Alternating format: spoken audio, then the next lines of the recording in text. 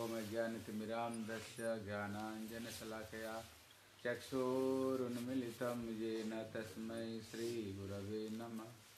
गुरवे गौरचन्द्राय राधिकाय यैस्तदालय कृष्णाय कृष्णभक्ताय तद्भक्ताय नमो नमः। वाञ्छाकल्पतरुभ्यश्च कृपा सिन्धुभैव च पतितानां पावनेभ्यो वैष्णवेभ्यो नमो नमः। हे श्री सनातन प्रभु करुणाम्बरासे हे रूप दुर्गज दनै दयावलोकै हे भट्ट जुग्म सुमति, रघुनाथ दास। श्री जीव में कुरुत मंद मतिर्दयांगवराग जय रूप सनातन भट्ट रघुनाथ। श्री जीव गोपाल भट्टदास रघुनाथ। हे जय गोसाई करी चरण बंदन जहा हित विघ्ननाश अभीष्ट पुराण।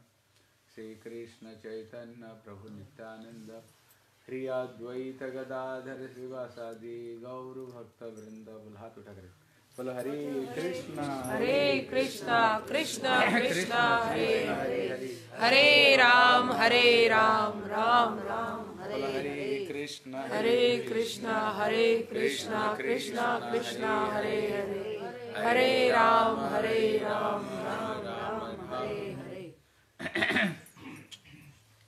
बोले सर्वप्रथम मेरे गुरुपाद पद्म, नितलीला प्रविष्टम विष्णुपाद अष्टोत्तर शत श्री श्री श्रीमद भक्ति श्री रूप सिद्धांति गोस्वामी महाराज जी के चरण कमल में अनंत कोटि साष्टांग दंडवत प्रणाम करता हूँ।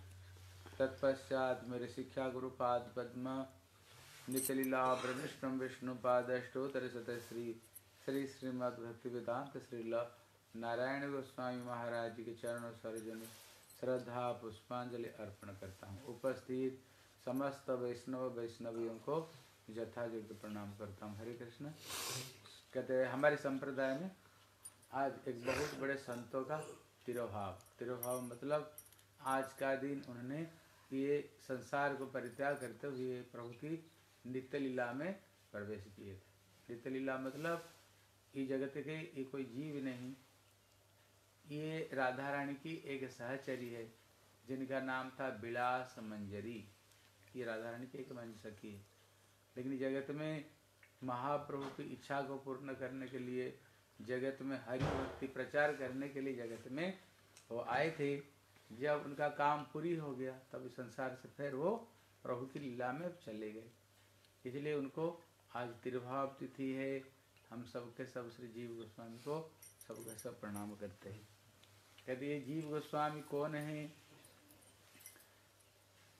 कहते ये श्री जीव गोस्वामी को बताए। कहते ये, कहते हमारी संप्रदाय में महाप्रभु एक एक भक्तों के द्वारा उन्होंने एक एक अपना मन की इच्छाओं को पूरी किया। जैसे श्री रूप गोस्वामी को द्वारा उन्होंने क्या पूरी किया, बोले, जगत में उन्होंने रस को स्थापन किया, भक्ति रस किया हुआ है? और श्री सनातन गोस्वामी को द्वारा उन्होंने संबंध तत्व का स्थापन किया, भगवान के साथ में हमारी क्या संबंध है? कहते, हरिदास ठाकुर के द्वारा जगत में उनको नामाचार्य बुलाया। है, नाम के आचार्य बना करके जगत में नाम की महिमा को प्रचार किया। बोले, श्री रघुनाथ दास गोस्वामी को द्वारा उन्होंने हमारी जो प्रयोजन तत्व है, बोले, जीवन का लक्ष्य क्या है? हम चाहते हैं जीवन में क्या? है? इसलिए हम रघुनाथ दास गोस्वामी उन्होंने ये चीज़ को स्थापन किया। बोले, ये जीव गोस्वामी, आज जिनका तिरोभाव है। कहते, इनको द्वारा उन्होंने जगत में क्या प्रचार प्रसार किया है? बोले, सिद्धांत। इसलिए श्री भक्ति ठाकुर कहते हैं, श्री जीव गोस्वामी कवे, सिद्धांत सलीले घुचाई बेतर का नल जाहे चित जोले। इसका मतलब है हमारे हृदय में न तरह तरह का तर्क वितर्क है। नहीं भगवान है, क्या नहीं है? सचमुच से क्या भगवान है? भक्ति करे तो क्या ब्रह्म को ध्यान करे, ब्रह्म को चिंतन करे? ना वो परमात्मा को जो अंगुष्ठ परिमाण, जो परमात्मा को ध्यान करे। भगवान, हैं? भगवान क्या है? तरह तरह का हमारा मन के अंदर में जगत में बहुत सारे मतवाद है, हैं? अलग अलग फिलोसफी सब आकर के जगत में अलग अलग अपना फिलोसफी को, कोई कहते भगवान निराकार है, कोई कहते हैं भगवान साकार है, कोई कहते भगवान भगवान कुछ है ही नहीं। हम ज़ीरो से आए और लास्ट में जाकर के ज़ीरो में ही बात समा जाएँगे। मरने के बाद कौन? इसलिए ऋणी करके भी घी खा लो। हाँ ऋणी करके भी घी खा लो। मरने के बाद तो कोई देखने वाला नहीं। मरने के बाद शरीर तो जला देंगे जला देंगे तो राग हो गया। कौन तुम्हारा ऋणी चुकाने के लिए आएगा? इसलिए ये जीवन में जब तक रहो क्या करो ऋणम कृता घितम पिबेत जावत जीवेत सुखम जीवेत। जब तक रहो, ऋणी करके भी घी खा लो। इस शरीर को सदृश कर दो। शरीर सब कुछ, इसको ऊपर कुछ है ही नहीं। खा पी कर पास मर जाओ। हैं? ऐसे ऐसे कुछ कुछ लोगों का फिलोसफी है। लेकिन ये जीव गोस्वामी, इन्होंने क्या स्थापन किया? सिद्धांत को उन्होंने स्थापन किया है। क्या सचमुच से भगवान है कि नहीं? इसलिए इन्होंने छह संदर्भ लिखा है हैं, संदर्भ छह ग्रंथ लिखा है हैं तत्व संदर्भ है परमार्थ संदर्भ है इसलिए इसमें प्रयोजन संदर्भ है उसमें हैं प्रेम संदर्भ है भक्ति संदर्भ है ए- एक एक संदर्भ में उन्होंने इतने सुंदर सुंदर उन्होंने बात को बताए भगवान कौन है ब्रह्म कौन है परमात्मा कौन है हम भगवान की भक्ति करें तो भक्ति को तरह कैसे भगवान की भक्ति करनी चाहिए? हमारे जीवन का लक्ष्य क्या है? इसलिए उन्होंने छह संदर्भ बनाया एक उदाहरण दिया, जैसे ये भागवत क्या है? बोले, भागवत एक महल है, सुंदर एक महल है। अभी किसी महल में घुसने के लिए तो दरवाज़ा चाहिए ना? दरवाज़ा नहीं होगा तो महल में कैसे घुसोगे? इसलिए श्री जीव गोस्वामी ने ये छह संदर्भ को बनाया। अगर भागवत रूपी महल में प्रवेश करना हो, क्या करो? ये छह संदर्भ का माध्यम से मतलब ये छह ग्रंथों को माध्यम करते हुए जो भागवत ग्रंथों को पढ़ेंगे, तभी भागवत का जो सार है, तभी हम समझ सकते हैं, नहीं तो समझ नहीं सकते। हैं? इसलिए उनने छह संदर्भ उन्होंने बनाया अद्भुत रूप में संदर्भ। उदाहरण दिया, जैसे कि सरवर हो, सुंदर सरवर। अगर उसमें आकर गंधा नाली अगर मिल जाएगा तो क्या होगा? सरवर बेकार हो जाएगा। इसलिए उन्होंने क्या किया? जो भक्ति रूपी, भागवत रूपी जो दिव्य, सुंदर जो सरोवर है, उनको चारी तरफ़ में दृढ़ उन्होंने एक दीवार बना दिया। जैसे कोई गंधी, है, नाली आकर के उसमें घुस करके उसको खराब नहीं कर दे, है, इसलिए उन्होंने संदर्भ बनाया, अद्भुत रूप में ग्रंथ बनाया श्री जीव गोस्वामी। इसलिए हमारे संप्रदाय का इनको सिद्धांत का आचार्य इनको बताते हैं। इसलिए कोई कोई कहते ना अरे सब सिद्धांत विद्धांत क्या ज़रूरत? माला जपो हरे कृष्ण हरे कृष्ण कृष्ण कृष्ण हरे हरे हरे राम हरे राम राम राम बात हो गया। और कौन से दिमाग में सब चीज़ घुसा था? है सब लटर पटर चीज़ को। बस भगवान हरि नाम कर दो हो जाएगा। बोले नहीं। बोले तीन तरह के भक्त है। कितना तरह के? तीन एक कनिष्ठ है एक मध्यम है, एक उत्तम है। भले कनिष्ठ भक्त किसको कहते हैं? हैं, सबसे छोटे भक्त किसको कहते हैं? बोले जिनका भक्ति बड़ा डामाडोल सा है। भक्ति तो कर रहे हैं। थोड़ी सी अगर इधर उधर हवा की झोंक लगे ना, थोड़ी सी, जैसे दिया जलती है, बुझ जाती है, ये थोड़ी सी अगर इधर उधर हो जाए, कुछ छोड़े, नहीं छोड़े, माला छोड़ देंगे। बोले हम भगवान की इतना भजन किया, और ठाकुर जी हमारे साथ में ऐसे किया है, हैं? लेकिन खाना नहीं छोड़ेंगे? सोना नहीं छोड़ेंगे, घूमना नहीं छोड़ेंगे। क्या छोड़ देंगे? बस, मानव माला छोड़ने के लिए पहले से तैयार है। ये माला कब छूटे? हैं, ये माला क्यों नहीं छूट रहा है? इसलिए इसको कहते हैं कनिष्ठ भक्त है जब इच्छा कर लेगा, जब इच्छा का माला करेगा नहीं? माला जहाँ के तहाँ लटक रहा है और दिन भर बैठ के टीवी देख रहा है, स्मार्टफ़ोन चला रहा है। इसको कहते हैं ये कनिष्ठ भक्त है जिसका भक्ति मतलब डामाडोल सा भक्ति है। कहते उसको ऊपर में मध्यम भक्ति किसको कहते हैं? मध्यम, कहते मध्यम अधिकारी उसको कहते हैं, जिनका भक्ति बड़ा ठोस भक्ति है। भले ही दूसरों को समझा नहीं पाए, लेकिन खुद समझ गया। ये जीवन दुर्लभ है। भगवान बारंबार ये जीवन नहीं देते हैं। एक बार अगर ये मानव शरीर नष्ट हो गया तो फिर हमें वही चौरासी लक्ष जीवन में भटकना पड़ेगा। इसलिए जीवन रहते हुए जितने पार वो शरीर को रगड़ रगड़ करके भगवान की भजन और भक्ति में लगा दो। भले ही दूसरों को समझा नहीं पाए खुद समझ जाते हैं और खुद अपना भक्ति को जो बढ़िया से कर लेते हैं। कहते उत्तम भक्त कौन है? बोले, जिसका अपना भक्ति तो बड़े दृढ़ है, लेकिन अगर दूसरों दूसरों को भी उन्होंने अपना वाणी को द्वारा, सिद्धांत को द्वारा, तत्व को द्वारा दूसरों को भी ये समझा देता है। खुद भी समझ देते हैं, दूसरों को भी समझा देता है। इसलिए इसको क्या कहते हैं? इसको कहते उत्तम भक्त कहते हैं। हैं। ये उत्तम भक्त है। इसलिए यहाँ पर कहते सिद्धांत बलिया चित्ते नाकर अलस जाहिते कृष्ण लागे सुदृढ़ मानस। मतलब है वो सिद्धांत थोड़ा खटपट रहे इसलिए उसमें अलसता मत करो उसको अच्छे तरह से समझ लो। अगर समझ जाओगे ना बस तुम्हारा दिमाग कभी बिगड़ेगा नहीं। भले ही जितने बड़ी कठिन परिस्थिति आने पर भी वो अपना प्रभु का भजन को कभी नहीं छोड़ेगा, अपना भजन में पक्का रहेगा, हैं? इसको कहते, उत्तम भक्त, इसलिए हमें सिद्धांत को अच्छे तरह से हमें समझनी चाहिए, हैं? समझनी चाहिए, हैं? इसलिए हरिदास, हमारे संप्रदाय में श्रीवास पंडित हुए। उनका एक ही बेटा था, एक बेटा ही मर गया, शरीर छोड़ दिया। अब भगवान उनके घर में नृत्य कीर्तन कर रहे हैं। नित्यानंद प्रभु, साक्षात कृष्णा, नित्यानंद प्रभु, बलदेव प्रभु अद्वैत आचार्य सदाशिव, गदाधर राधा रानी और स्वयं श्रीवास नारद है है, उनके एक लौता बेटा ही था तो शरीर छोड़ दिया। तो शरीर छोड़ दिया, महाप्रभु नृत्य कीर्तन कर रहे थे, सबके सब रोने लग गए, घर का जो माता है इतने में श्रीवास पंडित को पता चला रो रहे हैं क्यों? क्या हो गया? वो आ करके देखा, अपना एक लौता बेटा ही चला गया, एक ही बेटा। हाँ और हम होते तो क्या होते? मतलब भगवान हमारे घर में नाच रहे हैं, कीर्तन कर रहे हैं हैं? मेरा एक बेटा चला गया हे भगवान भगवान कुछ नहीं। चाहे जाओ घर से निकल जा। बेकार सब। कैसे लेकिन देखो उनको कैसे सिद्धांत में कैसे स्थापित है? तो बोले बोले क्या रो रहे क्यों? बोले तुम्हारे एक बेटा चला गया। बोले एक दिन मरेगा कि नहीं? बोले हाँ। बोले एक दिन मरेगा। साक्षात भगवान जहाँ पर कीर्तन नृत्य उनका हो रहा है आनंद उत्सव सुनते सुनते गया। मैं तो चाहता मेरा भी ऐसे सौभाग्य हो। एक दिन तो मरना ही है। जब मरना ठाकुर को दर्शन करते करते उनकी कथा कीर्तन सुनते सुनते ऐसे सौभाग्य किसको होता है? मैं तो चाहता हूँ मेरा भी ऐसे सौभाग्य हो जहाँ पर साक्षात भगवान कीर्तन नृत्य कर रहे हैं और इसी समय में हमारा शरीर छूट जाए जब एक दिन मरना तो। तो उन्होंने बोले बच्चे को दिया किसी ने? बोले ठाकुर ने दिया। बोले लिया किसी ने? बोले ठाकुर ने। तो जब दिया उसने लिया उसे तू बीच बीच में रो रहे हो? समझ रहे ना? दिया तो ठाकुर ने लिया भी ठाकुर ने हैं? फिर तुम रो रहे क्यों? बोले, खबरदार रोना धोना नहीं करना। अगर बेटा तो गई, अगर इसी, तुम लोग ज़्यादा रोग धोगे अगर भगवान ही यहाँ पर नृत्य कीर्तन कर रहे अगर उसका रस भंग होगा ना, फिर मैं भी गले में पत्थर बाँध करके मैं भी गंगा में डूब मरूँगा। इसलिए खबरदार चुप हो जाओ। तो उन्होंने आ करके पहले जितने आनंदित होकर नृत्य कीर्तन कर रहे, उससे ज़्यादा भी खुश होकर नाचने लग गए।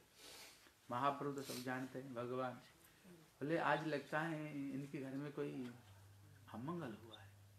और छलांग लगा कर बोले प्रभु आप जा साक्षात वैकुंठपति वहाँ पर भी अमंगल हो सकता है। अद्वैत आचार्य बोला प्रभु इनका जो एक ही बेटा ना शरीर छोड़ दिया। महाप्रभु तो रोने लगे।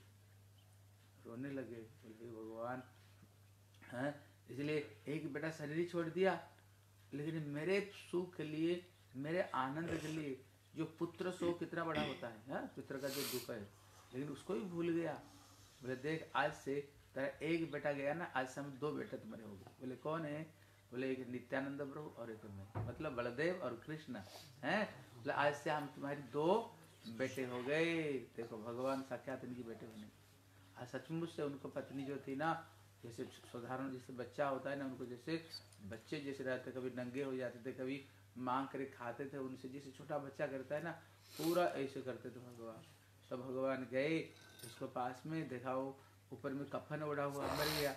महापुरुष को छाती पर हाथ रखे, फिर ज़िंदा हो गया दोबारा। भगवान ना ज़िंदा कर दिए। जब ज़िंदा कर दिए, तब महा भगवान पूछे, बोले, बेटा, तू कहाँ चला गया? बोले, प्रभु, मेरे कितने भाग्य था। तुम्हारे भक्त घर में जन्म लिया। जन्म से तुम्हारी कीर्तन हरि कथा तुम्हारी दर्शन हमने किया। मेरा अहो भाग्य है। आपने जहाँ पर भेजा, मैं वहीं पर गया हूँ। हाँ? मैं तो भाग्य था आपको कीर्तन सुनते सुनते शरीर ही छूटा एक दिन तो मरना ही है। लेकिन आपको दर्शन करते करते कीर्तन सुनते सुनते ऐसे सौभाग्य थोड़ी कभी होगा। इसलिए मेरा अहो भाग्य प्रभु जी आपने जहाँ पर भेजा बहुत बढ़िया जगह पर भेजा। मैं अभी जहाँ पर गया ना बड़े आनंद में तो उन्होंने बताए एक दिन तो शरीर छूटेगा ही और जगत में कौन किसका कहते नदी प्रवाह जैसे काष्ट लेके तीरे आप देखना जैसे बाढ़ आती ना पानी के आप देखना कभी कभी देखना तो कचड़े होते हैं हैं? जो पत्ते फत्ते होते कभी कभी एक कट्ठे हो जाते देखना फिर अलग हो जाते हैं। देखना ना, जैसे पानी, बहुत पानी बह रहा है, जैसे बाढ़ कभी कभी एक हो जाते हैं कभी देना अलग हो जाते हैं। ये संसार रूपी बाढ़ बह रहा है। कभी एक संसार में एक जगह हो जाते हैं फिर अलग हो जाता है। कोरोना ने कितने लोग ले गया तो गए कहाँ? एक दिन जाना है, एक दिन जाना है, तब उन्होंने बोले, प्रभु जगत में कौन किसका? एक दिन संसार छोड़ना सबको, जाना ये लेकिन मेरे यही भाग्य हुआ है, आपको दर्शन करते करते कीर्तन सुनते सुनते मैंने शरीर को परित्याग दिया, है? लेकिन अगर वो सिद्धांत में कोई स्थापित नहीं होगा ना, क्या होगा? ठाकुर, फाकुर को उठा फुटा कर रोड में फेंक दे। इतना दिन प्रभु का भजन किया, भक्ति किया, ठाकुर हमारे साथ में ऐसे ही बर्ताव किया है। इसलिए सिद्धांत की बहुत ज़रूरत है? तब तो पता चलेगा ना, कोई भी स्थिति आएगा, उसमें हम कभी विचलित नहीं होंगे। हमने जैसे बीज बोते हैं ना वैसे ही पेड़ होता है। अगर चीकू का बीज बोएँगे तो कौन सा पेड़ होगा? है? आम का गुठली बोगे तो कौन सा होगा? नीम का बीज बोगे तो कौन सा वृक्ष होगा? करेला का बीज बोगे तो कौन सा होगा? करेला। होगा ना। इसलिए किसको ऊपर दोष नहीं लगा करके अपना जैसे कर्म है ऐसे अपना भोग कर रहे हैं। इसमें संतुष्ट होकर क्या करो? भगवान भजन करते हुए संसार से पास ठाकुर के पास में चले जाओ जहाँ आनंद ही आनंद है, कोई किसका छोड़ने वाले नहीं है। एक दिन जहाँ ऐसे पहुंचोगे, जहाँ पर कोई किसी इसलिए कहते जो जीव गोस्वामी, ये सब सिद्धांत, ये सब स्थापन करते हैं। इसलिए हमारे ये सिद्धांत का आचार्य है। कहते, इनका नाम महाप्रभु ने जीव गोस्वामी दिया। बोले, जीव गोस्वामी क्यों दिया? बोले जीव अति इति जीव। जीव, इसलिए जो जीवों को जीवन प्रदान करते हैं, जीवों को जो जीवन प्रदान करते हैं और जीव पालन पोषण तो जीव का और एक नाम क्या है? सबको जो पालन करते हैं, सबको जो पोषण करते हैं। बोले, उन्होंने क्या? क्या पालन पोषण किया? बोले, ये सिद्धांत को द्वारा, तत्व दर्शन को द्वारा उन्होंने हमें क्या किया? भक्ति जगत में जो हमें जीवन देते हैं, भक्ति जगत में हमें जो पालन पोषण, जो सिद्धांत, तत्व दर्शन को द्वारा उन्होंने जो दिया है, इसलिए इनका नाम जीव है, महाप्रभु दी कहते ये कृष्ण लीला में विलास मंजरी कहते विलास मतलब क्या है? कहते विलास मतलब होता है कहते विलास मतलब होता है भगवान के साथ में जो लीला विलास करते हैं। और जो विलास है विलास मतलब लसत इच्छा, है? कहते एक धातु होता है, लसत मतलब है इच्छा। जो महाप्रभु की जो इच्छाओं को जगत में स्थापन किया। बोले, महाप्रभु का जगत क्या इच्छा है? बोले, महाप्रभु को ये इच्छा है जगत में हरि भक्ति जगत में प्रचार हो। और ये समस्त सिद्धांत तत्व जगत में स्थापन हो। इसलिए जिन्होंने महाप्रभु का समस्त इच्छाओं को जगत में पूरी किया है, कौन है श्री जीव गोस्वामी ने पूरी किया है? कहते जो जीव गोस्वामी, कहते इनका जन्म कहाँ पर हुआ? कहते ये राम के लिए एक ग्राम है। वहाँ पर जन्म हुए। हम कुछ दिन पहले सुन रहे थे ना, सनातन गोस्वामी की कथा सुन रहे थे। सनातन गोस्वामी और श्री रूप गोस्वामी कहते और अनुपम, ये तीन भाई थे। तीन भाई थे। और सनातन गोस्वामी की कथा सुने राजमंत्री हाँ वित्त मंत्री दोनों भाई थे, हैं। इसलिए, और उनका एक भाई बल्लभ है, दो भाई तो संसार त्याग कर दिया, एक भाई घर गृहस्थी करते थे। उनका जो एक बेटा हुआ, इसलिए जीवो गोस्वामी हुआ, जब उनने सुना, मेरे चाचा ने सब कुछ छोड़ करके वृंदावन में भजन कर रहे हैं, कहते मैं भी ये जीवन को भगवान की सेवा में मैं भी लगा दूँगा। उन्होंने भी प्रतिज्ञा कर लिया तब से इनके मन में राजा के बेटा है ना, क्योंकि बहुत धनी, धनीवानी घर के बच्चे हैं। इसलिए बड़े सुंदर कपड़ा पहना करते थे, बड़े ठाड़ बाड़ में रहते थे। लेकिन जब से रूप गोस्वामी, सनातन गोस्वामी घर परित्याग किया, तब से उनका भाई था अनुपम बल्लभ। कहते उनका ही बेटा हुए। श्री जीव गोस्वामी, तब से उसको संसार में कोई आसक्ति नहीं, बड़े वैराग्य पूर्वक चिंता रहते हैं। और जैसे बच्चे लोग खेलते कूदते हैं ना, ऐसे नहीं खेलते कूदते थे। वो ठाकुर को कृष्ण बलराम लेकर के जब खेलते थे, ठाकुर के साथ में खेलते थे। जब सोचते थे, ठाकुर जी को अपना गोद में लेकर के, ठाकुर जी को अपना गोद में लेकर के सोया करते थे बचपन से। ऐसे इनके अंदर में वैराग्य था, ऐसे इनकी भावना था जीव गोस्वामी की। हाँ तब उन्होंने श्री नित्यानंद प्रभु से मिले और उन्होंने कभी महाप्रभु को लीला में जब डूब गए एक दिन इस स्वप्न में उन्होंने क्या देखा? महाप्रभु सारे भक्तों को साथ में नृत्य कीर्तन कर रहे और जीव गोस्वामी को साक्षात रूप में महाप्रभु को स्वप्न में दर्शन किया। जब श्री नित्यानंद प्रभु को पास में आए, कहते, श्रीवास, अंगन में नित्यानंद प्रभु बलदेव प्रभु। तो उन्होंने बोले, मेरे ऊपर कृपा करो, जैसे जीवन को हम प्रभु की भजन में लगा सके। तो उन्होंने आशीर्वाद दिए, बोले, देखो, तेरे वंशों को भगवान महाप्रभु ने वृंदावन में स्थान दिया। तू भजन करना चाह तो कहाँ पर चले जाओ? वृंदावन में चले जाओ। और वहीं पर रह करके तुम भजन करो। इसलिए कहते से जीव गोस्वामी हर समय क्या करते थे? ठाकुर को भोग ला कर खाते थे। प्रेम में कभी कभी विभोर रहते थे। ये प्रेम में विभोर रहते थे। और जो जो ब्रजमंडल जो परिक्रमा है ना, चौरासी जो ब्रजमंडल परिक्रमा है कहते नित्यानंद प्रभु इनको लेकर के पूरा ब्रजमंडल परिक्रमा कराया, सब स्थान स्थान पर दर्शन कराया। कृष्ण यहाँ पर बंसुरी बजाए, कृष्ण यहाँ पर गिरिराज उठाए, कृष्ण यहाँ पर गैया चराए करते थे, यहाँ पर पुतना कुमारे यहाँ पर जमलार्जुन भजन किया। कृष्ण यहीं पर मिट्टी खा कर ब्रह्मांड रूप दिखाया था। कृष्ण यहीं पर, गोपियों ने यहीं पर बैठ करके तपस्या की। कृष्ण यहाँ पर चीर हरण किया। सब नित्यानंद प्रभु पूरा उन्होंने चौरासी ब्रज मंडल श्री जीव गोस्वामी को उन्होंने दर्शना कराया था इस धाम को।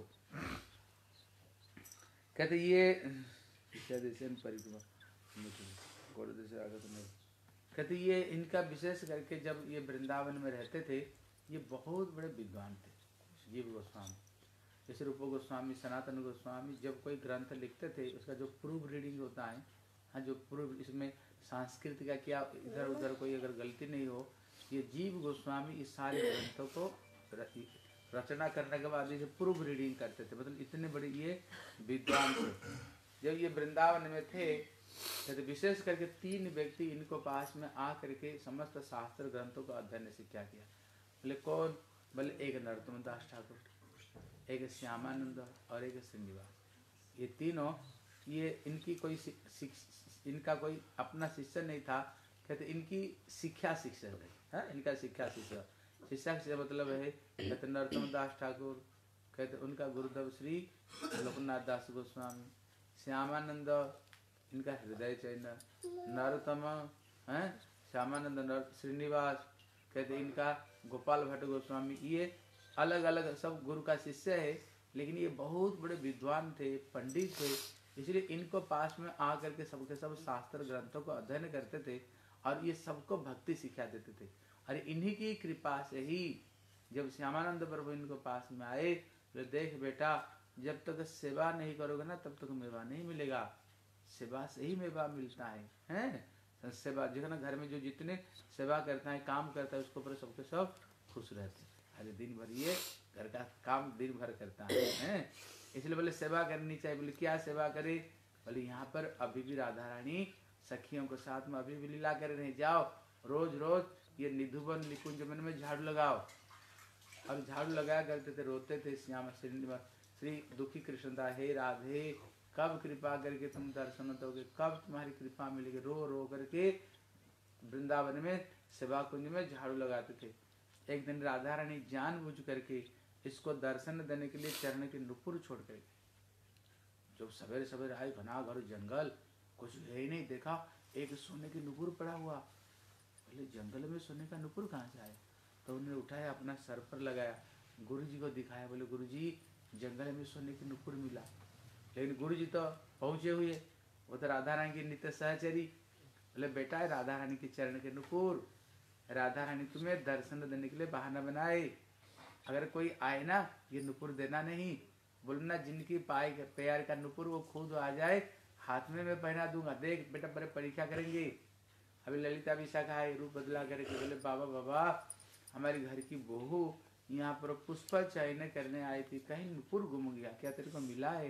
बोले, मिला। बोले, दे दो। बोले, जिनका चरण का नुपुर वो खुद आ जाए, अपना हाथों से पहना देंगे। लेकिन वो परीक्षा कर रहे तो बोले, बाबा, तू कैसे बाबा हो? ये घर की बहू है, हैं? हमारी घर की बहू को प्यार में तो नुपुर पहना, उधर शर्म नहीं लगता? तू कैसे संत हो? हैं? बोले, भैया, जो कुछ बोलना बोल दो। हम तो अपना हाथों से पहनाएँगे। तो उन्होंने जाकर राधा रानी को बोले। राधा रानी तो दर्शन देना ही चाह रही थी। बोले, उसको बोलना, एक काम करे, आँखों गोबर में काला पट्टी बाँध दे। उसको बाद में फिर मैं आऊँगा। हाँ आऊँगी। बोले, ठीक है। जब काला पट्टी राधा रानी स्वयं आई और अपना हाथों से राधा जी के चरण में नुपुर पहना जब नुपुर पहना, राधा रानी के चरण स्पर्श होते ही उसका हृदय तो प्रेम में गदगद हो गया। रोम रोम खिली उठा, आँखों से आंसुओं की झरी बहने लग गया। साधारण कोई बात राधा रानी के चरण को स्पर्श करना। इसलिए कहते मुनिंद्र बिंद बंदिते, त्रिलोक शोक हारिणी, प्रसन्न वक्र पंकजे, निकुंज विलासिनी।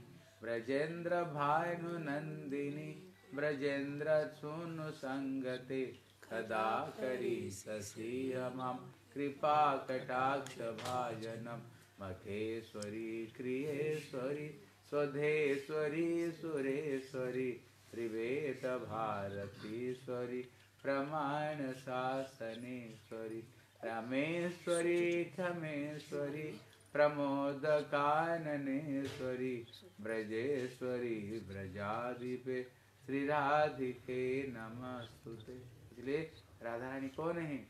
समस्त का दुनिया का जो ईश्वरी है जिनकी कृपा से समस्त जीवों का, त्रिलोक का दुख कष्ट जिसके आशीर्वाद से हरण हो जाता है, खत्म हो जाता है। जिनकी चरणों को ब्रह्मा, शंकर, नारद भी जिनके चरणों को प्राप्त नहीं कर पाते, कृष्ण के लिए भी कभी राधा जी के चरण दुर्लभ होता है। ऐसे चरणों को प्राप्त करना कोई साधारण बात है? तो जब उनके स्पर्श किया तो रोम रोम के लिए उठा, बोले, हे राधे जब आप इतने दूर तो कृपा की है मेरे को दर्शन भी दो तो उन्होंने आँखों से काला पट्टी खोल दिए फिर उन्होंने राधा रानी की दर्शन किया। बोले श्रीमती राधा रानी की जय। ज़ोर से बोलो। बोले श्रीमती राधा रानी की बोले श्री जीव गोस्वामी की बोले श्री श्यामानंद प्रभु की हाँ, इसलिए कहते किसकी कृपा से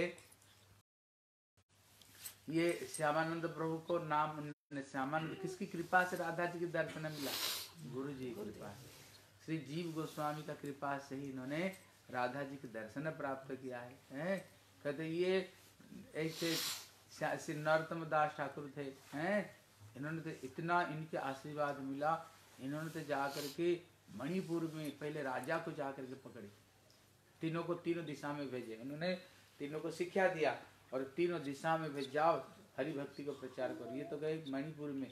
पहले राजा को ही पकड़े। राजा को ही अपना चेला बना दिए अगर देश का राजा अगर, है, चेला बन जाए, फिर क्या होगा? सर दुनिया चेला बन जाएगा। हैं? राजा जब उनका चेला बन गया ना, बोले, इनके इतने प्रभाव है, पूरा मणिपुर, पूरा का पूरा बदल पूरा का पूरा सबके गले में तुलसी कंठी, सबके सब तिलक। ये जो तिलक है ना ये नरतम हमारे जो संप्रदाय के जो नरतम दास तिलक है हमारी है। ये तिलक, उन्हीं का तिलक है। इसलिए तिलक, कंठी, माला, अभी भी वहाँ की स्त्रियाँ हैं, लाल कपड़ा, नीचे लाल कपड़ा, ऊपर में सफ़ेद कपड़ा पहनते अभी भी कंठी, माला, और वहाँ पर मंदिर स्थापन किया, जिसमें 108 मृदंग एक साथ में बजती है, जो महाप्रभु का जहाँ आरती होती है। पूरा के पूरा प्रजा बन गए। ऐसे, जैसे ये गाँव है, हैं? थोड़ी मोटी बहुत माला तिलक, कंठी। सब थोड़ी लिए हैं?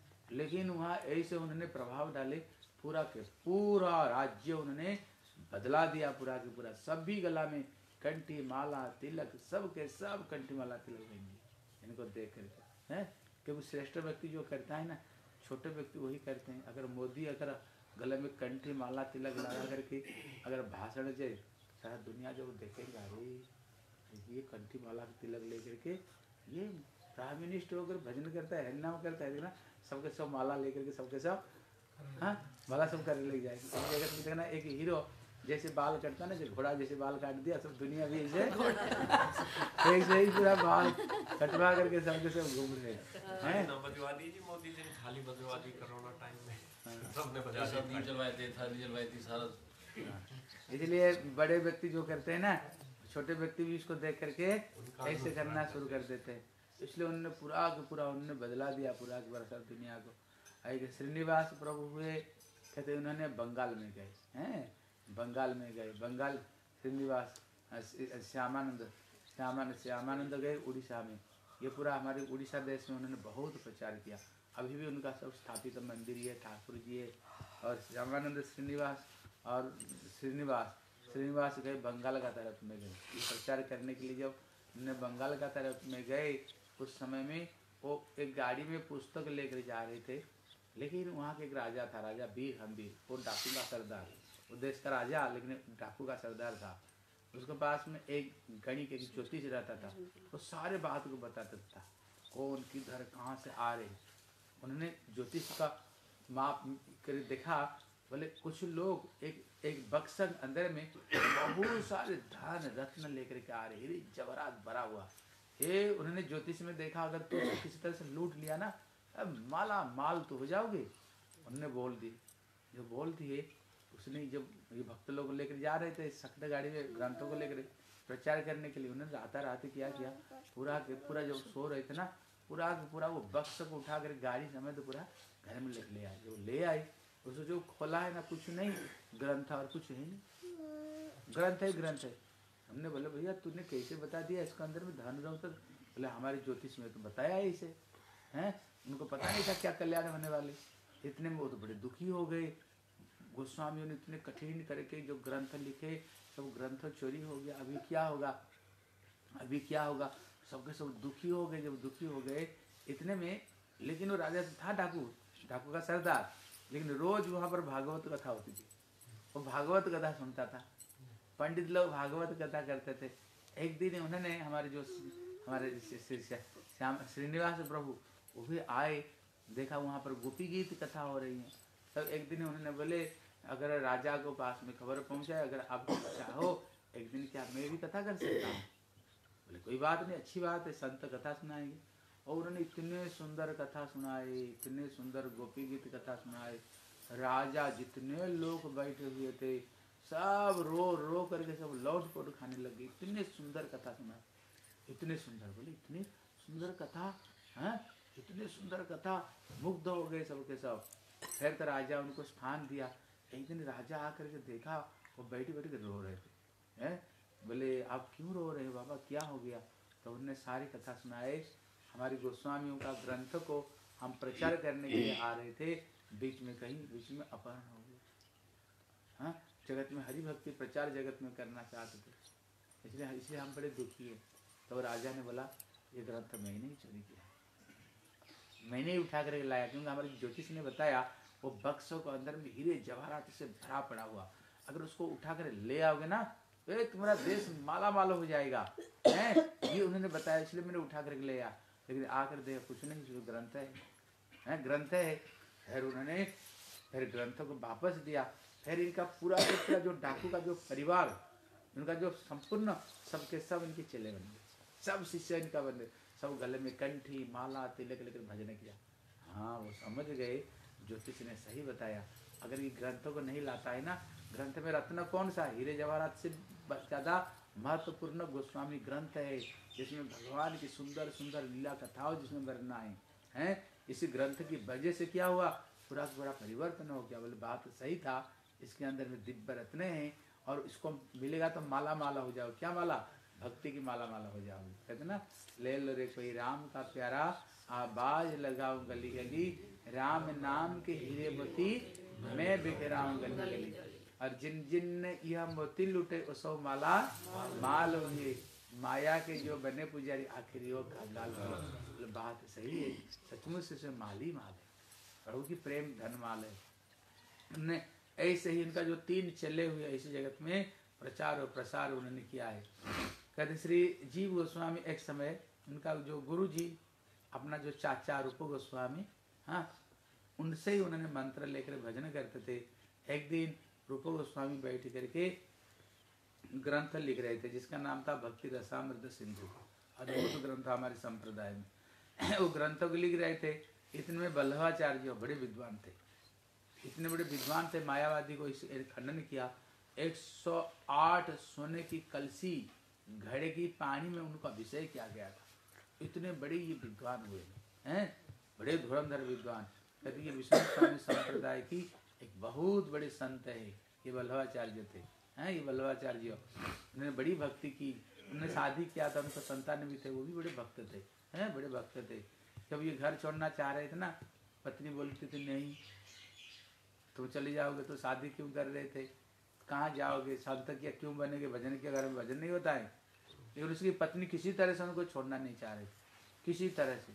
उनने क्या किया ना, एक दिन जान बुझ करके घर का भूस का था, उसमें आग लगा दी। जब आग लगा दी, आग लग गया। लेकिन वो अंदर में सो, सोए, सो रहे उनको पत्नी ने बोला, क्या कर रहे हो? निकलो घर से। घर से निकलो। सो रहे हो। आग लग गया। दिख नहीं घर से निकलो। बस पत्नी बोल दिया, घर से निकलो बस निकल करके बन सं- सं- बनकर चले गए। बोले, कहाँ जा रहे हो? बोले, तुमने तो बोला घर से निकलो। मैं बस तुम तुम्हारी आदेश तो मांग रहा था, तुमने खुद बोल दिया घर से निकलो, इसलिए घर से निकल कर जा रहा हूँ भजन करने के लिए। मैंने ऐसे भजन किया। बहुत बड़े संत थे। इनका जो भागवत में जो टीका इसका नाम सुबोधनी टीका है। है? सुबोधनी टीका, अद्भुत टीका उन्होंने लिखे इसलिए कहते, इन्होंने बड़े विद्वान थे। लेकिन हमारे गोस्वामी को सामने वो कुछ नहीं। लेकिन एक दिन पूछे, तुम कौन सा ग्रंथ लिख रहे हो? बोले, भक्ति रसामृत बिंदु हाँ बोले, देखो, जब ये ग्रंथ खत्म हो जाएगा ना, मैं थोड़ा दिखाना होगा इधर उधर कुछ होगा तो मैं संशोधन कर दूँगा थोड़ी लेकिन जीव गोस्वामी बैठ कर हवा कर रहे थे। किसको? रूप गोस्वामी को। अभी अगर किसी को सामने किसको गुरु जी को आकर के ऐसे बोले, तुम्हारी ग्रंथ में अगर देना तुम किसको संशोधन कर दूँगा? उनको बड़ा नेग्लेक्ट फील हुआ। मेरे गुरु जी जो सख्यात रूप मंजरी राधा कृष्ण की लीला में रूप मंजरी है, ये साधारण कोई व्यक्ति है ही नहीं। और भूल किसका होता है? बोले, जो बद्ध जीव है। इसलिए बद्ध जीव में चार दोष होता है, भ्रम, प्रमाद, करना पाठक और विप्रलिप्सा। कहते ये चार जो दोष है हमारे अंदर में, ये बद्ध जीव का अंदर में ये कमियाँ रहती हैं। लेकिन मुक्तो पुरुषों के अंदर में ये कोई कमी नहीं रहती। उनको बड़ा ही हुआ हमारे गुरुदेव नित्य परिकर और इन्होंने बोले रूम रिलीज़ करेंगे? तो गुरु जी हवा कर रहे थे। जब वो चले गए यमुना में, उन्होंने बहाना बनाया। बोले गुरु जी मैं भी थोड़ा आ रहा हूँ। आकर उनको पीछे पीछे आ गए और उनको साथ में बोले आप क्या देखा मेरे गुरु जी की? आप बोले, संशोधन करो। बोले, वहाँ पर देखा उन्होंने एक श्लोक लिखा जिसका नाम था मुक्ति मुक्ति स्प्रिया पिशाची जावत हृदयवर्तते तावत कृष्णम भक्ति सुख से कथम अद्भुत है वहाँ पर लिखा था जो भुक्ति और मुक्ति है उसको उन्होंने उदाहरण दिया पिशाच। भूत को साथ में, हैं? जब किसी को पिशाच किसको ऊपर बैठ जाए ना, सारे खून को चूसते रहता है। सारे खून को वो चूसता एक दिन खत्म कर देता है। ने भुक्ति और मुक्ति को उन्होंने पिशाच शब्द बोला, है? तो जब तक ये हृदय में साधन की रहेगा, भगवान की भक्ति कभी आगे बढ़ ही नहीं सकती, है? बोले, इन्होंने ये मुक्ति को जो ज्ञानी लोग कितने कठोर साधन करते हैं मुक्ति को पाने के लिए। लेकिन उन्होंने मुक्ति को क्या बोल दिया? ये एक पिशाच। इसलिए मैं सोचा संशोधन कर दूँ फिर उन्होंने उदाहरण दिया बोले देखो उन्होंने भुक्ति मुक्ति को उन्होंने पिशाच नहीं बताया। उसी को जो इच्छा जो प्रिया उसको बताया उन्होंने। लेकिन भुक्ति मुक्ति को उन्होंने पिशाच शब्द उन्होंने नहीं बताया है, है? उन्होंने इच्छा को बताया। तब उन्होंने उदाहरण दिया आप देखना इसी जगत में अगर किसको ऊपर कोई भूत का सवार हो जाए ना, कोई भूत का अगर किसकी सवार हो जाता है, आप देखना एक एक व्यक्ति तो आठ आठ, दस दस व्यक्तियों का भोजन कर लेता है। लेकिन देखना वो जो व्यक्ति है ना, वो दुबला पतला रहता है। वो व्यक्ति दुबला पतला क्यों? जो भोजन कौन कर रहा है, उसको अंदर में जो भूत बैठा हुआ ना, वो कर रहा है, हैं? इसी तरह जब हृदय में ये भुक्ति, मुक्ति की भावना रहेगी, क्या होगा? भक्ति हृदय में नहीं आ सकती। उनने कितने उन्होंने उदाहरण दिया है, उदाहरण देकर उनको वाक्यों को खंडन मनन कर दिया और वापस चले आए। तो चले आए, इतने में थोड़ी देर बाद में फिर बल्लभाचार्य आए। तो रूपो गोस्वामी को बोले, तुम्हारे पास में जो बच्चा बैठा हुआ था, कौन था? बोले, मेरे भाई का बेटा, मेरे, अपना भाई का बेटा था और ये मेरे शिष्य था। तो ये तो बड़ा विद्वान है। हाँ ये तो बड़ा विद्वान है। वो समझ गए, ये ज़रूर कुछ खुरा बात किया है। पीछे पीछे गया था, कुछ खुरा बात किया है, हैं? इसलिए तब उन्होंने बोले, तुम महा, तुमने महाप्रभु क्या कहते हैं? भक्ति करना तो चार गुण आने चाहिए। कहते, त्रिनाद भी सुननी चाहिए ना त्रिणी सभी ज़्यादा नीचो बनो, पेड़ सभी ज़्यादा सहनशील होनी चाहिए। सबको जथा जुग सम्मान दो, कभी सम्मान की भूखे मत रहो। हैं? ये ये चीज़ करनी चाहिए। और कोई व्यक्ति प्रतिष्ठा मांग रहा था, जब मैंने कुछ नहीं बोला, तुमने कुछ बोलने का क्या ज़रूरत था? हाँ? निकल जाए यहाँ से तू। अभी दूसरों को सम्मान देना नहीं जानते हो निकल जाओ यहाँ से। निकाल दिया रूप गोस्वामी अभी गुरु जी निकाल दिया तो दुखी, इतने दुखी हो गए। वो जा करके भय गाँव भय गाँव जहाँ पर, वही पर है भय गाँव जहाँ पर नंद जसोदा, नंद बाबा स्नान करने के लिए सवेरे गए थे और उनको पकड़ करके वरुण लोग ले गए थे उनको। हाँ गाँव है। कहते वो कहते भय गाँव उन्होंने वहीं पर जा करके, रहते थे कहाँ पर? जहाँ पर मगरमच्छ रहता था, मगरमच्छ होता है, देखे ना आकर के सोते हैं और वहाँ पर कुछ कुछ जगह को, है, क्या करते गड्ढा सा बना देते हैं। उसमें जाकर रहते थे, खाते थे क्या? दिन भर रोते थे, कभी राख को मल, राख है ना, पानी में घोल करके पी लेते थे। मतलब यही सब और वहीं पर बैठ करके सारे ग्रंथों को रचना की, गुरुदेव का विरह में बहुत रोए बहुत रोए। गुरुदेव हमें नाराज़ होकर, गुरुदेव मेरे को त्याग दे दिया, गुरुजी हमें त्याग दे दिया। इतने जब गुरुजी त्याग देते गया तुम्हारी भक्ति भक्ति क्या रहा। कुछ रहा नहीं। भक्ति खत्म है जब क्योंकि जो भक्ति किसको ऊपर निर्भर करता है? गुरु जी की कृपा के ऊपर। अब गुरु जी नाराज़ हो गए तुम्हारी भक्ति क्या रही? कुछ रही नहीं। दिन रात रोते थे। लेकिन उसी समय में ब्रज का जो सबसे बड़े संत मानते थे सनातन गोस्वामी जी इनको कहते थे बड़े बाबा। सब ब्रज में इसको बड़े बाबा कहते थे। लेकिन सब घर गाँव गाँव में जाते थे सबका अच्छा बुरा पूछते थे। जानते थे जगत ये सबसे बड़े संत श्री सनातन गोस्वामी। जब उन्होंने उसी गाँव में गए ना, जब उसी गाँव में गए, तब उन्होंने गाँव के लोग बोले, बाबा, आपको तो ब्रज में बड़े बाबा मानते हैं, लेकिन आपसे भी एक बड़े बाबा हमारे यहाँ पर है। बोले हमसे बड़े बाबा कौन है? बोले, आप तो घर से चून मांग करके टिकिया बना कर खा लेते हो, लेकिन ऐसे के बाबा आए हैं, उनको भूख लगे ना ये राख को हाँ पानी में घोल कर पी लेते हैं। बोले भैया राख घोल कर पी सकते हो? पी सकते हो राख घोल कर एक दिन में राम नाम करते हो जाएँगे हैं? बोले ऐसे कौन सा संत जो राख को मल कर पीता है? भैया चलो ऐसे संतों को दर्शन कराओ। अब बोले दिन रात ठाकुर का नाम लेकर रोते रहते हैं गुरु जी का नाम लेकर रोते हैं। बोले ले चलो। जब लेकर गए देखा जीव गोस्वामी ये तो भाई का बेटा है। इतने सारे बात पूछे क्या क्या हुआ? उन्हें सारे घटना को ऐसे ऐसे बोल दिया। जब बोल दिया, इतने में उन्होंने उसको लेकर के आए। जब लेकर के आए, तब रूपो गोस्वामी को पूछे, उनका छोटे भाई लगते हैं, बोले, बताओ महाप्रभु का क्या उपदेश है? महाप्रभु का क्या उपदेश है? बोले, महाप्रभु का उपदेश है, जीवे दया। जीव को ऊपर में दया करनी चाहिए। कैसे? बोले, कृष्ण नाम। कृष्ण नाम लेकर दे करके जीवों को दया करनी चाहिए। बोले, जीवे दया महाप्रभु बोले ये जीव क्या जीव नहीं? कहते, ये जीव क्या जीव नहीं? उनका नाम जीव गोस्वामी। कहते, ये जीव क्या जीव नहीं? है? उसने ऐसे थोड़ी कुछ गलती कर दिया तो गलती क्या था?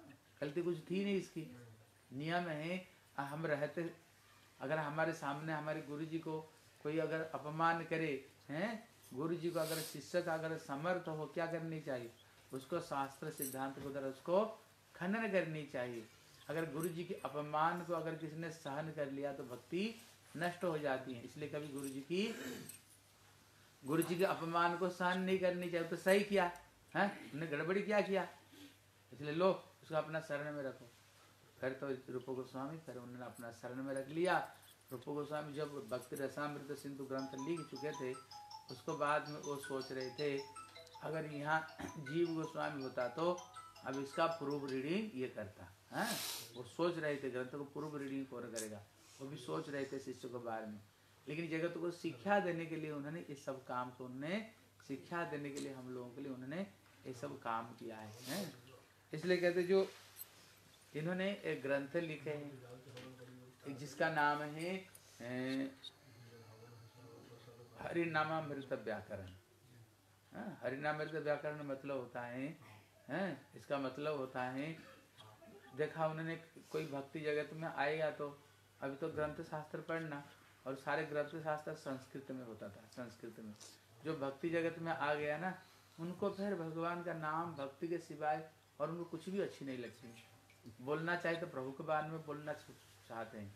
सुने तो ठाकुर के बारे ही सुनना चाहते हैं। इसको और किसी चीज़ में रुचि नहीं जाती। इसलिए नियम है जीवन में भक्ति के अनुकूल चीज़ को ग्रहण करो और प्रतिकूल चीज़ को छोड़ो। जो भक्ति करे अनुकूल की चीज़ को प्रतिकूल चीज़ को वर्जन करनी चाहिए, भक्त लोग तो भगवान के नाम कीर्तन है उनको अच्छा लगता है। लेकिन ये जो व्याकरण का जो सूत्र होता है ना अयुण दिल्ली भय भरट हाँ ये सब, ऐसे ऐसे सब सूत्र है। बोले, क्यों ये बेकार ये सब सूत्र को रटेंगे? समय को क्यों बर्बाद करेंगे? फिर उन्होंने एक ग्रंथ रचना किया जिसका नाम है, क्या है? हरि नामामृत व्याकरण। भगवान का नाम को दे दे दे करके, ठाकुर का नाम को दे दे करके उन्होंने एक व्याकरण लिखा, ऐसे अद्भुत एक व्याकरण लिखा, जिसमें सूत्र, वृत्ति, टीका में सब, अगर ग्रंथों को पढ़ोगे ना, तुम्हारे सारे संस्कृत ज्ञान हो जाएगा, व्याकरण नॉलेज हो जाएगा। लेकिन वो सूत्र ऐसे बनाया, जितना सूत्र को रटो इसमें इसमें हरि बेणव, हरि खड़गा, हरि गोपाला हरिदास ऐसे ऐसे, उस- ऐसे सुनने सब नाम दे दे करके इधर संस्कृत ज्ञान भी हो जाएगा, उधर क्या हो जाएगा तुम्हारी संस्कृत पढ़ाई भी हो जाएगा। और तुम्हारी भगवान का नाम भी हो जाएगा। उन्होंने ऐसे उन्होंने बुद्धि देकर ग्रंथ को बनाया। इसलिए बनाया कैसे? जब महाप्रभु गया से वापस आए, हैं, तब उन्हें महाप्रभु स्वयं टीचर थे। उन्हें सूत्र वृत्ति टीका में सर्वत्र भगवान के नाम को प्रचार कर रहे थे, नाम को व्याख्या कर रहे थे, हैं। इसलिए उसी चीज़ को उन्होंने लेकर के उन्होंने सर्वत्र, उन्होंने अद्भुत, उन्होंने ग्रंथ को रचना किया। अद्भुत ग्रंथ है, जिसका नाम हरि नाम अमृत व्याकरण है, उसको पढ़ो तो सारे संस्कृत ज्ञान भी हो जाएगा और तुम्हारी सारे भक्ति भी हो जाएगा, पढ़ाई भी हो जाएगा। उनने ऐसे एक दिव्य ग्रंथ को उन्होंने प्रचार किया है। कहते इन्होंने और एक ग्रंथ लिखा है। क्या, कौन सा ग्रंथ लिखे? कहते ये जैसे रूप गोस्वामी ने भक्ति रसामृत सिंधु ग्रंथ लिखे, उज्जवल निर्मल ग्रंथ लिखे। इसका जो टीका है ना, इन्होंने इनका टीका को उन्होंने लिखा श्री जीव गोस्वामी की टीका को उन्होंने लिखा है जिसका नाम दुर्गम संगमिनी नाम दिया है। मतलब जैसे भक्ति रसामृत सिंधु जिसमें प्रवेश करना बड़ा कठिन है जैसे कोई बड़, नदी हो ना जैसे समुद्र पार करना कठिन अगर उसमें सेतु बन जाए बाँध हो जाए तो उसके ऊपर चलते चलते पार हो जाता है। इसलिए दुर्गम संगमनी उन्होंने बड़ा जिस ग्रंथ में प्रवेश करना कठिन बड़े सुंदर उन्होंने टीका लिखी। जिस टीका कोई पढ़ेगा तो अपने आप जिसमें प्रवेश हो जाएगा। और उन्होंने कहते माधव महोत्सव, उन्होंने ग्रंथ लिखा है। कहते माधव महोत्सव मतलब क्या है? कहते भगवान माधव मतलब कृष्ण। महोत्सव मतलब होता है जिस माधव जो बड़ा आनंद होता है। बोले, कब आनंद कृष्ण होते हैं? इस ग्रंथ में उन्होंने वर्णना किया कैसे कृष्ण स्वयं राधा रानी को अपना हाथों से अभिषेक की है, जिस समय कृष्ण गिरिराज उठाया, सारा दुनिया में हल्ला हो गया। कृष्ण कनिष्ठ अंगुल में सौ दिन तक सात साल के बालक उन्होंने राज उठाया। ए जगत में पूरा ब्रज में हला हो गया। सबके सब बोले कृष्ण कन्हैया लाल की जय। सारा दुनिया में इनकी जय जयकार हो गई। इतने में राधा रानी को कान में पड़ा। बोले राधा रानी बोली क्या? दुनिया जानते हैं मैं राधा रानी। राधा कृष्ण को थोड़ी कोई राजा बोलता है। कोई नहीं बोलता है। मेरे को क्या कहते राधा रानी। ब्रज की रानी मैं हूँ। हैं? कृष्ण व्रत इसलिए वृंदावन में कोई कृष्ण कृष्ण नहीं बोलते क्या बोलते हैं? राधे। राधे राधे बोलते हैं। कृष्ण का भी राजा हो गया दुनिया पौर्णमासी पास में गए बोले पौर्णमासी जी मैं क्या सुन रही हूँ? सारा दुनिया की सब कृष्ण कन्या की जय। अरे वृंदावन के राजा रानी वृंदावनेश्वरी तो मैं हूँ। सारा दुनिया जाते मैं राधा रानी। कृष्ण कैसे राजा हो बोले सही बात है। हाँ ये सही बात है। रानी तो तू हो। बोले जाओ आक्रमण करो कृष्ण के ऊपर में। हैं? कृष्ण राधा रानी बैठ गई। उमराव बन करके मतलब राज रानी बन करके बैठ गई। एकदम राज रानी। अरे सबके सब, सखियाँ चामर, व्यंजन झोलाने लगे। बोले, जाओ कृष्ण को बंदी बना कर लाओ। मेरे चरण में डाल दो। और सबके सब गए, सखियाँ कृष्ण के ऊपर आक्रमण किया और कृष्ण का हाथ को बंदी बनाया। कैसे? फूलों की माला से। भगवान को थोड़ी कोई बंदी बना सकता है। वो प्रेम से भगवान को बंदी बना सकते हैं। भगवान प्रेम की भूखे हैं? इसलिए उनको बंदी बना कर लेकर के आ गए। आकर बोले, राधा जी चरण में, है? क्या कर, सर झुकाओ। राधा जी के चरण इतने में राधा रानी देखते लज्जित हो गई, है? फिर राधा कृष्ण दोनों को बैठाए, वहाँ पर ठाकुर का आरती की। और कृष्ण स्वयं उन्होंने राधा रानी को अपना हाथों से अभिषेक किया। मतलब आज से ये वृंदावन का जो राज रानी श्री राकेश्वरी, जो श्री राधा रानी, इसलिए वृंदावन में सबके सब श्री राधा जी का नाम लेते हैं और कहते हैं राधा रानी, है? इसलिए उन्होंने बहुत अद्भुत अद्भुत उन्होंने ग्रंथ उन्होंने बनाया है। ग्रंथ बनाकर जगत में। और एक ग्रंथ है जिसका नाम है ब्रह्म संहिता। ये ग्रंथ पढ़नी चाहिए कभी कभी इनको भी सुना देना। ब्रह्म संहिता। ये जो ग्रंथ है ना, इसी ग्रंथ में ये देवता देव देव कौन है? ये शंकर जी कौन है? ये माता जी कौन है? ये गणेश जी कौन है? ये जितने सारे अवतार, ये सब के सब कौन है? और कृष्ण कौन है? इसमें जिसका नाम बताया गोविंदम माधि पुरुषम तमाम भजामी। जिसका पहला श्लोक है, ईश्वर परम कृष्ण सचिदानंद विग्रह अनादि गोविंद सर्व कारण कारण कृष्ण, समस्त कारणों का जो मूल कारण भगवान कृष्ण है, हैं? हाँ इनसे ऊपर और कोई है नहीं, कृष्ण को नहीं एक एक श्लोक में उनकी व्याख्या किया। इसलिए कहते, जीव गोस्वामी, कहते, ये ब्रह्म संहिता जो ग्रंथ, महाप्रभु जब दक्षिणी यात्रा गए थे, उनने दो ग्रंथ वहाँ से संग्रह किया था। एक ब्रह्म संहिता और एक कृष्ण करनामृतम दो ग्रंथ। कहते ये ब्रह्म संहिता ऊपर में जो टीका है ना कहते जीव गोस्वामी ने इसको ऊपर में उन्होंने बड़ी सुंदर उन्होंने टीका लिखे हैं, ये ग्रंथ के ऊपर में अद्भुत ग्रंथ है। और इनने और एक ग्रंथ लिखे जिसका नाम था गोपाल चंपू। जो गोपाल चंपू है ना, कृष्ण की सुंदर सुंदर कथा है। बड़ी प्यारी प्यारी कृष्ण कथा, अगर होगा तो कभी सुनाएगी आप लोगों को। इसलिए गोपाल चंपे जैसे भागवत में सुंदर सुंदर कृष्ण की कथा है, लेकिन जगत में ऐसे कोई नहीं हुए, कृष्ण की नई कथा लिख सके। कौन लिखेगा? कृष्ण की कथा। जो कृष्ण को दर्शन किया होगा। जो कृष्ण लीला देखेगा, वही तो बोलेगा, कृष्ण क्या कर रहे नहीं कर रहे और कौन बोल सकता? है और तो कोई नहीं बोल सकता है। इसलिए उन्होंने ग्रंथ लिखे, जिसका नाम गोपाल चंपू। अद्भुत ग्रंथ लिखे दो पार्ट में, एक ब्रज लीला और एक उनकी द्वारका लीला है। दोनों ग्रंथ में उन्होंने, दो पार्ट में उन्होंने उत्तरार्ध और पूर्वार्ध बोल के दो ग्रंथ रचना किए। और उसमें बड़ी सुंदर कृष्ण की नई नई भागवत में तो कथा ही है। लेकिन उन ग्रंथ में और नई नई नई नई कृष्ण की कथा है। श्री सुखदेव गोस्वामी कब भाव में आविष्ट होकर के, क्योंकि जब सुखदेव गोस्वामी लीला वर्णना कर रहे थे ना, जैसे टीवी में सीरियल आती हैं, वो जैसे देख रहे थे, वैसे बोल रहे थे, जैसे देख रहे थे, वैसे बोल रहे थे। लेकिन उन्होंने भावावेश में आकर के कौन लीला पहले ठाकुर ने किया, कौन लीला बाद में किया, उन्होंने भाव के आवेश में आकर के बाद लीला को पहले बोल दिया, पहले लीला को उन्होंने बाद में बोल दिया। लेकिन उन्होंने कहाँ कहाँ उन्होंने बोले हैं, फिर वहाँ पर उन्होंने ये चीज़ को उन्हें पकड़े।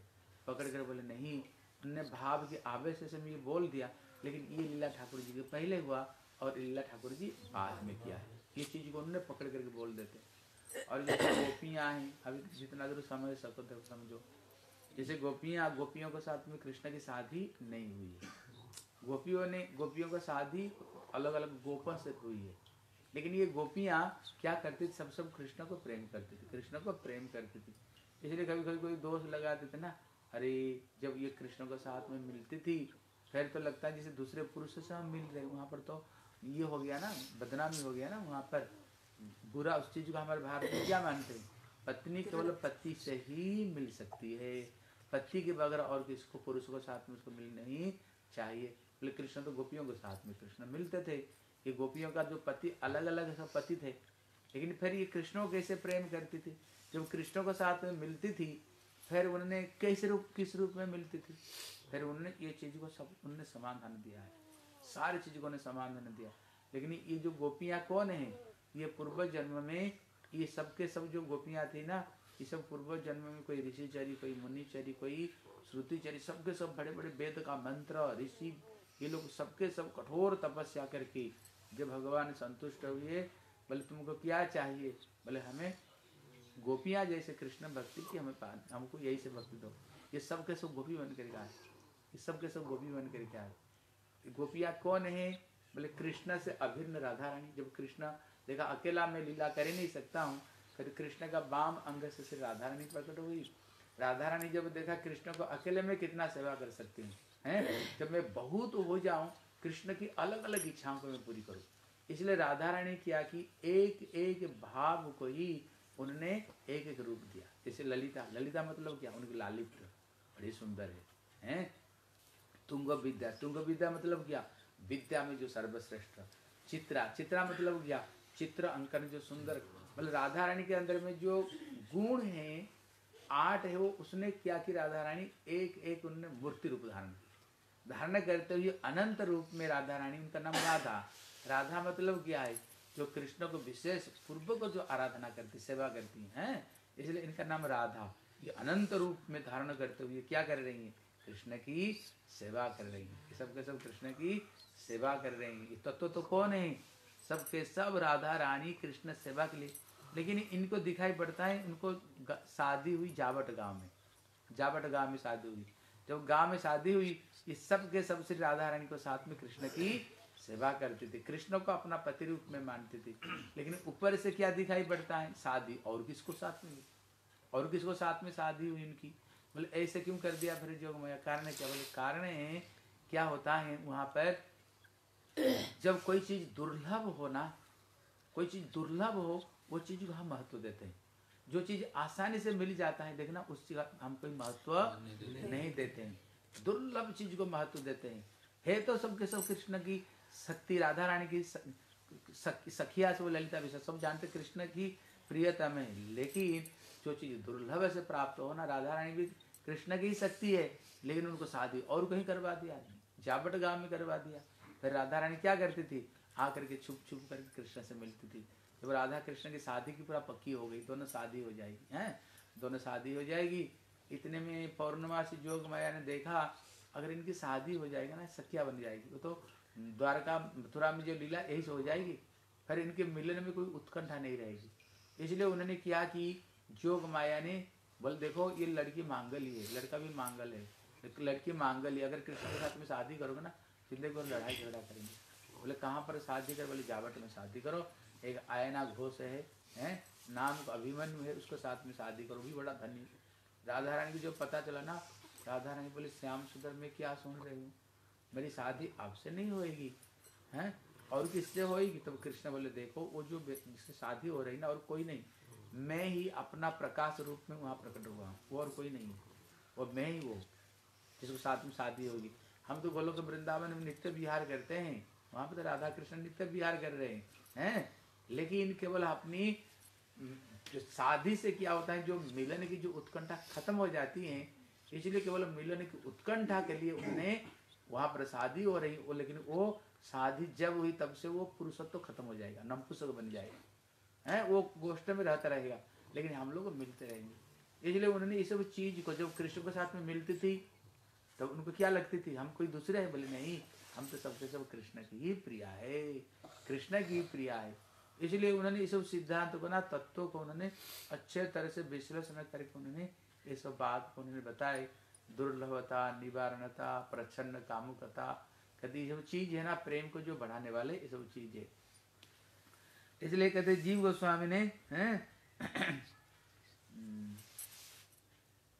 इसलिए कहते इनकी बहुत बहुत सारे ग्रंथ, ग्रंथों उन्होंने ग्रंथ लिखा है।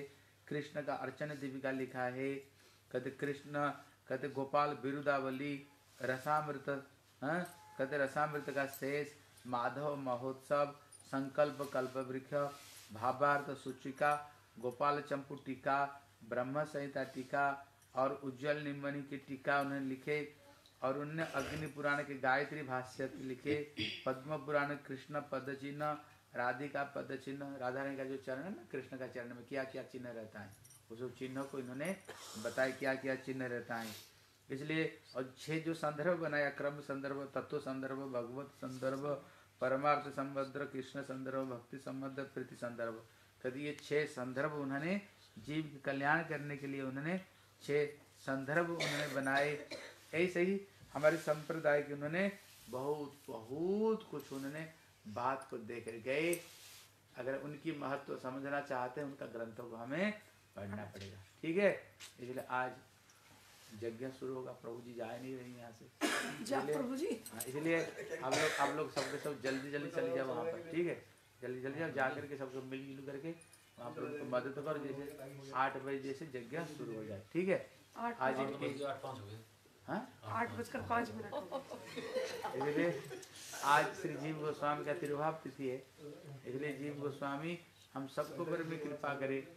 उन्होंने जगत में जो सिद्धांत तो तत्व दर्शन को उन्होंने दिया है अगर उसमें एक बार गोता लगाएँगे तो हमारे हृदय में जो भक्ति एकदम पक्की हो जाएगी। भक्ति कभी डामाडोल हमारी नहीं नहीं होगी हर समय हम भगवान की भक्ति कर सकते हैं। ठीक है ना? हमारे गुरु जी एक ही बात बोलते थे। देखो इसकी इतनी सी बात को बाँध कर ले जाओ। बोले क्या है? बोले जितने जो भक्ति कर रहे हो जो भजन कर रहे हो जो गले में कंठी माला तिलक है किसी तरह से आप एक जीवन ऐसे ही जीवन को बिता दो। कैसे बिता दो? गले से कंठी उतरनी नहीं चाहिए, तिलक लोग लोग रोज तिलक लगानी चाहिए। ठाकुर जी को जो भोग लगा कर खाते हो, रोज ठाकुर को भोग लगा कर खाओ, तुलसी परिक्रमा करो और अपना जो हरिनाम करते हो, उसका हरिनाम को करते रहो। हाँ जो भक्ति के अंग जाजन करते हैं, मेरे गुरु जी कहते थे अगर एक जीवन अगर ऐसे ही तुम्हारी बीत गया, समझो तुमने बहुत कुछ करके गए हो। बहुत कुछ करके गए हो, हैं? इसलिए एक जीवन क्या होता है, जो काम कर रहे हैं ना, हमारे हृदय में एक रेखापात कर रहा है। हृदय में एक संस्कार कर डाल रहा है। और करते करते करते करते जब यही चीज़ स्वभाव में परिणत हो जाएगा, बस काम ही बन गया। इसलिए प्रभुपाद अंतिम समय में बोल कर गए, सत लांछना, सत गंजना सत अपमान सुन कर कभी हरि भक्ति नहीं छोड़ना। दुनिया छूट जाए लेकिन प्रभु का भक्ति नहीं छूटे। ठीक है, इतना करते हुए ये जीवन को बिताओ, भजन करो, बस इससे ही हमारी कल्याण हो जाएगी। कल्पतरुभ्यश्च कृपा सिंधु वच। पत्तानं पावने भो, वैष्णव भो, नमो नमः। हरे कृष्णा हरे Krishna. Krishna Krishna Hare Hare Hare Rama, Hare Rama, Rama Rama, Hare Hare, Hare Krishna.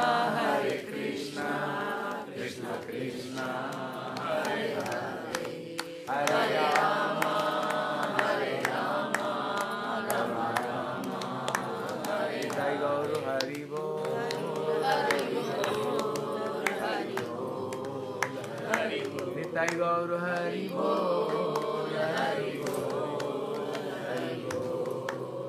Hari